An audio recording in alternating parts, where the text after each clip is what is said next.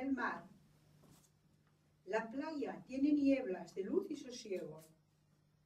Fulge el aire de verano y reparte las brisas tornasoles de gusto. Olas que derivan hacia el alma al frescor de la existencia. Eternidad del vaivén. La vida en medio como un estorbo. Dic Ventura i, entre altres coses, recito poemes i canto cançons.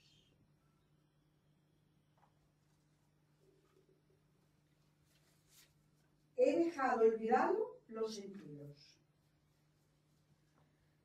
He dejado olvidados los sentidos en un lejano trozo de tierra que tenía verdes primaveras y tiernos juncos en las riberas del alma.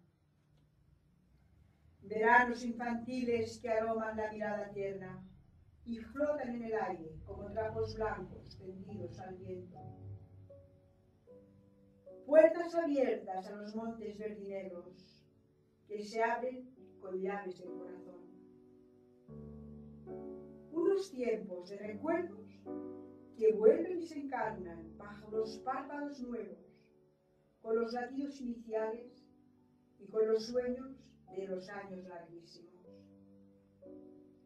Por ello suenan las músicas primeras de la vida y las paredes del recuerdo que van llenando la soledad de amores paisajes. En esta casa que acaricia los resoplidos y el color tibio de los pulmones se van reflejando en las aves de alegre vocación. En esta nueva casa. Apoya en el quicio de la mancebía, iba a ver llegando la noche de mayo. Pasaban los hombres y yo sonreía, hasta que mi puerta paraste el caballo. Serrana, me das candela, y yo te dije, gaché, ven y toma de mis labios que yo fuego te daré. Dejaste el caballo y lumbre te di, y fueron tus ojos dos soles de mayo ya siempre para mí. Ojos verdes, verdes como la albahaca, verdes como el trigo verde y el verde, verde limón verde, verde, con brillo de faca, que es tan clavadito y en mi corazón. Pa' mí ya no existen luceros ni luna, solo hay unos ojos que mi son. Ojos verdes, verdes como la albahaca, verdes como el trigo verde y el verde, verde limón. Vimos desde el cuarto amanecer el día y tocar al alba la torre la vela. Dejaste mis brazos cuando amanecía y en mi boca un gusto a mienta y canela. Serrana, pa' un vestido yo te quiero regalar te dije está cumplido, no me tienes que dar nada.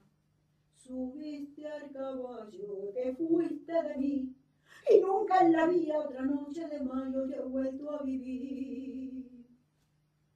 Ojos verdes, verdes como la albahaca, verdes como el trigo verde y el verde, verde limón. Ojos verde, verde, con brillo de faca, que están clavaditos y en mi corazón. Pa' mí ya no existe lucero ni estrella, solo hay unos ojos que mi vida son. Ojos verdes, verde como la albahaca, verde como el trigo verde y el verde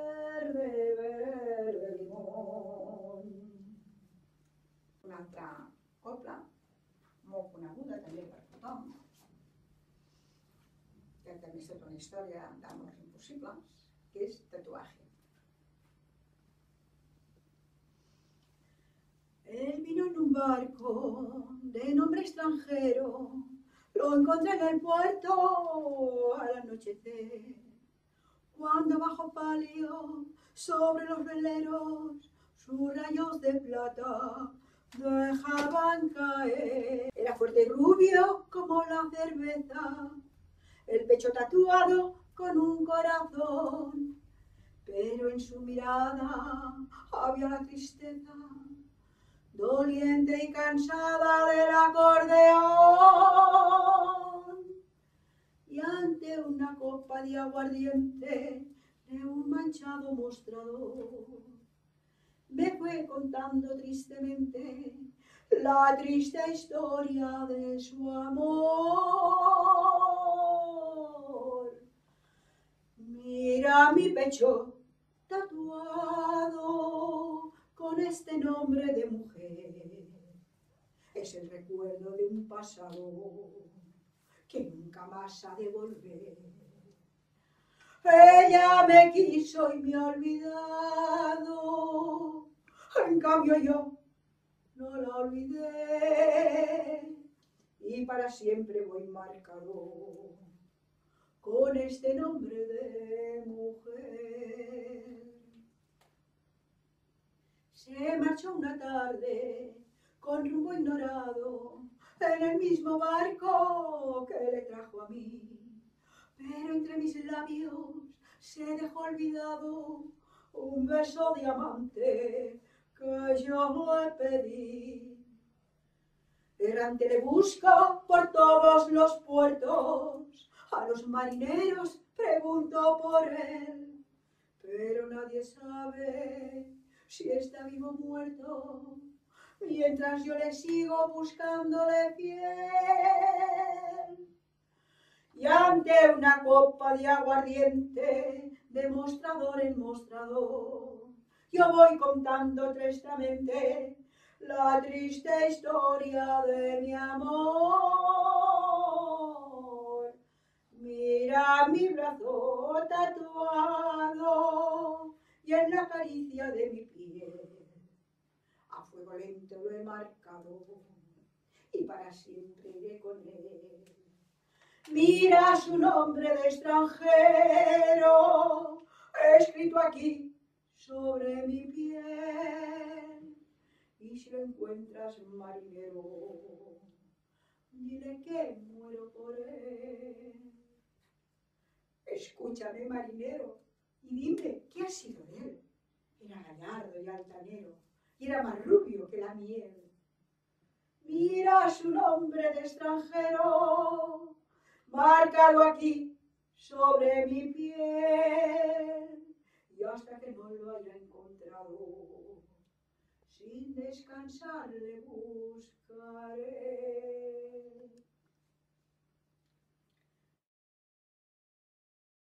Continuant amb aquest homenatge a les dones, als homes també, però sobretot a les dones de, de la Guerra Civil, llegiré un poema que és molt emotiu, que es va llegir en un acte d'homenatge a Manuel Azanya a Montbau l'any 2009 i és escrit per una dona jove, Consuelo Ruiz, i es titula Les mujeres de los rojos i és un homenatge realment a tot el que va representar aquella generació de dones que van tenir que quedar-se a l'estat espanyol.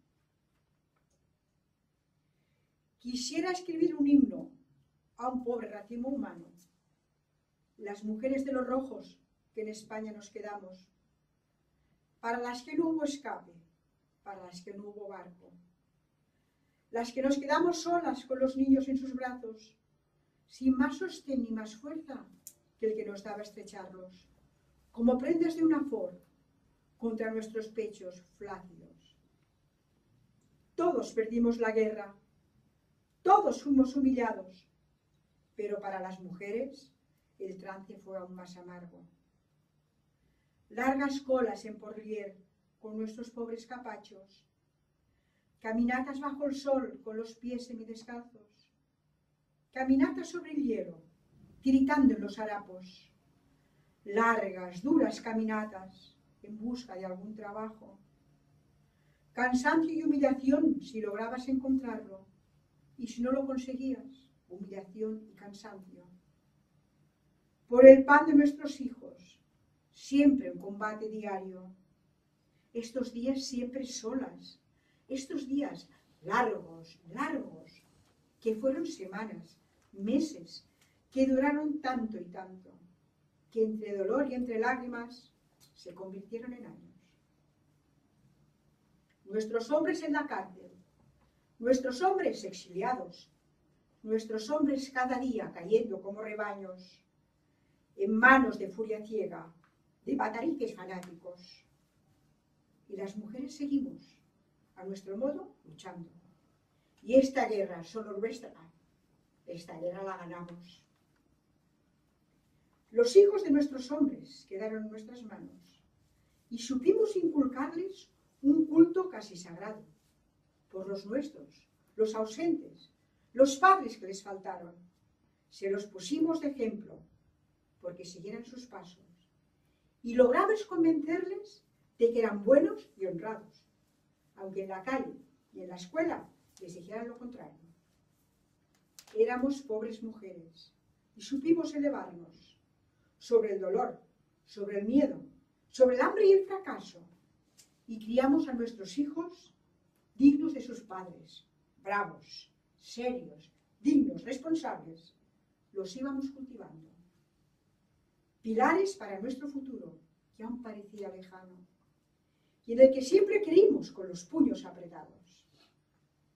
Quisiera escribir un himno, grande, estupendo, fantástico, de pobres mujeres débiles, con heroísmos callados, de esfuerzos y sufrimientos, que eran el vivir diario, y a pesar de ello supieron, con un esfuerzo titánico, ir manteniendo la llama de amor al Padre lejano, al Padre que estaba preso o al que habían fusilado. Yo quisiera, voz en grito, poder entonar un cántico que dijera todo eso, que bastante hemos callado. Las mujeres de los rojos, que en España nos quedamos, creemos tener al menos el derecho de contar.